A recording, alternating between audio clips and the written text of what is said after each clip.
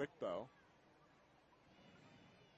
Martin looks back at second and the 1 0. Swing and a grounder right side. That'll get through for a base hit into right as Ramos fields it. Culver's being waved around. Here's the throw home. It's up the line. Culver scores on the RBI single by Jake Cave, and that cuts the Sea Dogs lead in half. It's 2 to 1.